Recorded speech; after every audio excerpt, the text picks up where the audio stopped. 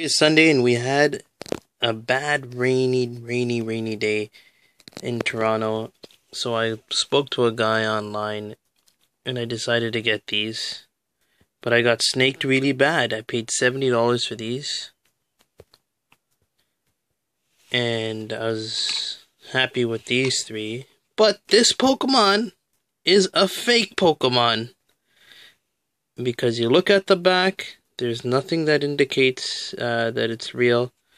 The inside as well uh, is the board says Nintendo, but it's just really cheaply made. So I kind of got snaked on this one. Uh, I, it was my fault. I didn't check the back or the label inside that says Nintendo.